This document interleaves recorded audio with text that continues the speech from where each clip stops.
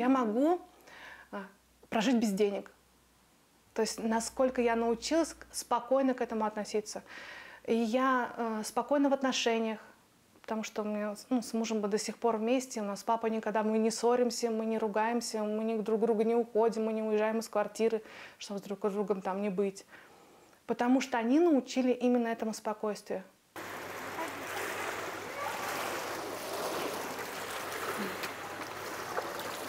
Так, аккуратненько. Молодцы, сегодня хорошо поплавали. Старались. Вот. Варвара и Богдана Воробьевы. Увлечение, плавание. Диагноз – детский церебральный паралич. Девиз – вода – это наш воздух. Мечта – принять участие в Паралимпийских играх. Диагнозы у детей разные, да, э, у них э, форма ДЦП разная. Вот, допустим, Варюша, она диплегист, у нее ножки, она как пружинки, то есть она такая вся пружинистая. А Богдаша, она наоборот, у нее настолько приходит мышца в тонус, что она, в противо, получается, как в противовес делает какое-то действие. Мозг сжимает все, но нужно взять, и у нее, как сказать, настолько нужно наладить контакт с своим телом, чтобы это научиться делать, чтобы об этом не думать. Или, допустим, она разговаривает, но ее ноги могут подниматься. Давай ручку. Поехали. Бери Богдан. Я сама родилась как бы не совсем здоровым ребенком. Тазобедренные суставы тоже пострадали. И в то время моя бабушка, она начинала там наливать большую ванну, и мне нужно было плавать, чтобы суставы пришли в норму.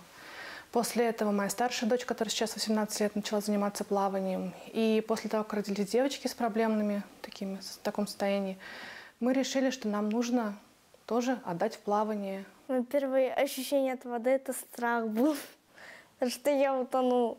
А сейчас я вообще ничего не боюсь. Я могу спокойно плыть на второй, на третьей дорожке. Варя, поплыли.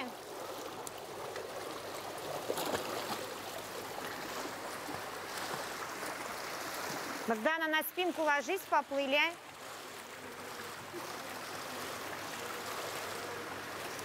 Давай, давай, давай, давай, давай, давай. Мы пришли в бассейн.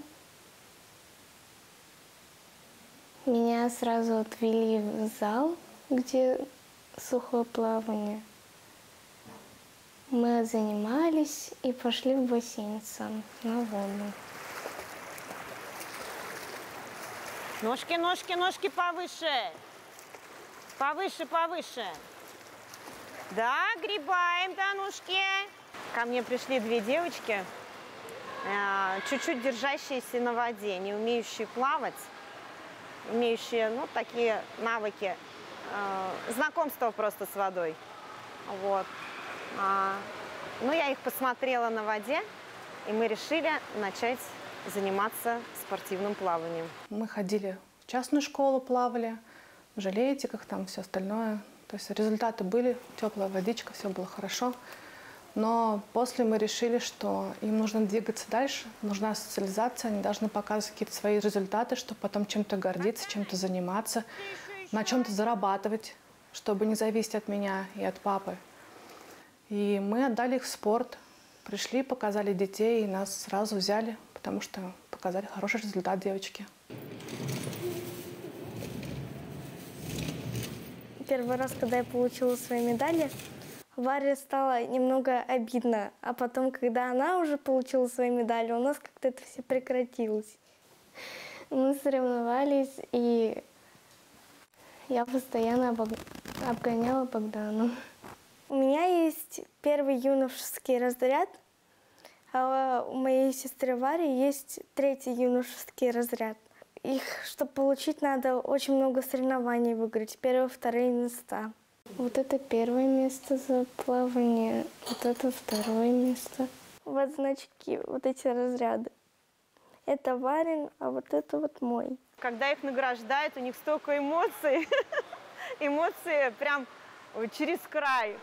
То есть э, прям вообще для них это, ну как, э, смысл жизни.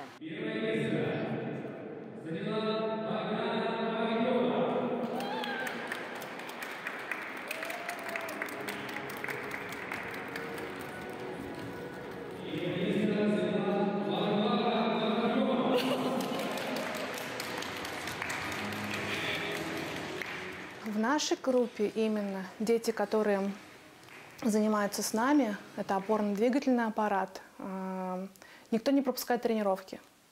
Это бесплатный спорт, то есть все полностью оплачивает государство. У нас есть своя спортивная школа, в центр нефтяник, получается, дети там все занимаются в этом бассейне. Вот. Но детям, э, как сказать, мне кажется, так легко в воде, то, что недоступно им на суше, как Богдане, допустим, она же не может там пойти туда, сделать то, сделать то. А в воде ее все называют тренера рыбка. Мне в воде вообще не больно плавать, и мне там, я могу ходить там. Мне это больше всего нравится в воде и делать все движения, которые я захочу. Этот ребенок не должен был плавать, так скажем. То есть он не должен был ничего делать толком. Из-за того, что мы постоянно в спорте, у нас такое тело, которое даже не отличишь от спокойного, ну, нормального ребенка, обычного, нормотипичного. Это вот здесь шатается. Все? Выпрямись, вот эту руку толкай. Толкни руку, чтобы ровная спина Это была. надо для Всё, того, пошли. чтобы размяться перед водой. Когда мы делаем с Надей разработки, мне это очень помогает в плавании, то что я начинаю высоко руки поднимать и быстрее плыть. Тренажерный зал – это наше, наверное, спасение, которое появилось в Уфе. Вот год они э, отметили. Раньше мы ездили в Москву ну, за этими тренажерами. Сейчас вот он появился в Уфе. Это мамочка тоже ребенка ДЦП открыла, тоже тетрапорезник мальчишка у нее. На ногах же на своих стоишь. А давай теперь попробуем без рук. Опусти руки. Давай, я тебя страхую сзади. Пошли. Молодец. Руки вниз. Да. Голова наверх. Вот, пошли. Держись, я Богдане помогу. Девчонки разные. Варя, она такая более молчунья, она будет терпеть до последнего. Богдана, она более девочка, скажем так, да, которая вот, она боится не столько даже боли, а она боится, чтобы ей причинили эту боль. То есть ее еще нет, но она уже заранее сигнализирует там, мне кричит Надя, не надо меня трогать, Надя, там еще что-то. А так вообще, ну, девчонки хорошие, стараются. Когда вот, допустим, я в тренажерку не похожу там месяц, это очень больно, когда мы эту суставную гимнастику начинаем делать заново. Меня все тянет очень сильно. Давай, поднимай наверх. Сама. Толкай, толкай. Давай. Ага, поднимай. Толкай. Сильнее. Молодец, поднимай. И толкай. Три. Как-то мы вот, говорю, вот живем одним днем. Вот сегодня он есть и классно. Вот уснули вечером, о, слава богу, все, день закончился. У нас есть только одна мечта. Мы жили, у нас, мы квартиру в ипотеку брали э, рядом с центром Баталова, потому что нам нужно было жить рядом из-за того, что нехватка времени была. И мы не знали, куда себя деть, когда жили с, ба- с мамой, со своей старшей дочерью, все вместе в одной квартире. Ну, я в свой угол. Так, так, так, ты меня не обманешь. У меня, у меня получается то, что ночками было больше ходов. Давай. Сюда. Иди, иди. Мы иногда ругаемся, но это у всех сестер, у всех братьев есть. У нас там можем что-то не поделить, можем просто поругаться. Богдана, Богдана, наблюдай, пожалуйста. Я люблю раскрашивать разноцветные цвета, потому что это очень ярко.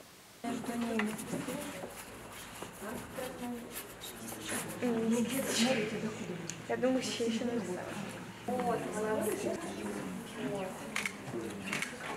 Теперь смотрите, можно взять немножко красненького. Я вижу внутренний их свет. Они хотят, э, и они, когда я с ними разговаривала, тет-а-тет, чтобы их принимали такими же.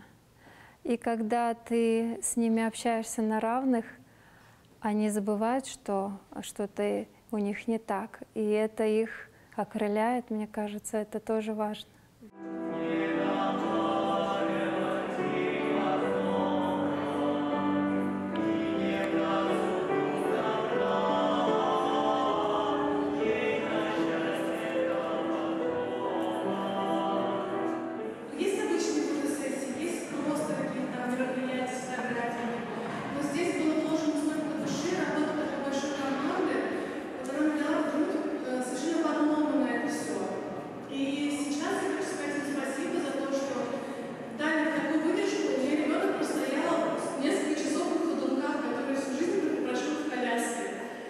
Проект «Я есть» эм, это наша такая небольшая социальная адаптация. Почему мы согласились на этот проект? Мы очень редко бываем э, на мероприятиях. То есть мы не ходим ни в кино, ни в театры, ни новогодние утренники. У нас просто нет времени на это. Мы просто мечтаем поспать. У нас выходной – это поспать. И когда нам предложили этот проект, я сначала тоже так как бы сомневалась, что это будет очень долго. Во-первых, это фотостудия, то есть это не обычная фотостудия, там, допустим, это будет с театра оперы, балета люди по гриму, по костюмам. Это будет профессиональный фотограф, который с нас не слезет никогда, когда там просто отфоткали и ушли. А это просто будет очень долго времени. И я переживала, что дети не выдержат этого. Когда мы первый раз там фоткались, нас очень красиво одели, наряжали. Мы прям почувствовали себя там леди. Мы часа три, наверное, там были. Все это время Богдана снималась на ходунках, и она ни на секунду не сказала, что я хочу сесть, там, я устала. Настолько у них был контакт с фотографом, она с ними разговаривала, вот ни на секунду не замолкала. Мама, конечно, она молодец. Иметь таких двух девчонок и тащить их, это, ну, тащить прям в прямом смысле слова, потому что э, столько бегать за них, занима, с ними заниматься. Она их там, они целыми днями, мне кажется, только что и делают, это на колесах проводят. То есть они бегут в одну сторону, потом бегут в другую сторону. То у них учеба, то у них бассейн, то у них тренажерка. Ну, про себя, конечно, она там уже забыла, скажем так. вот, что тоже не очень хорошо. Но отдала всю себя девочкам.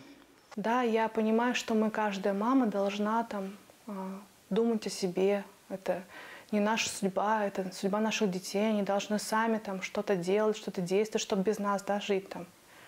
Но как они будут действовать, если мы не сможем им помочь?